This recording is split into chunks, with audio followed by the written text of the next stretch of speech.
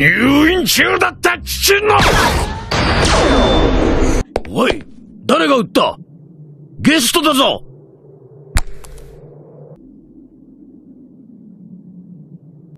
話はこうだった。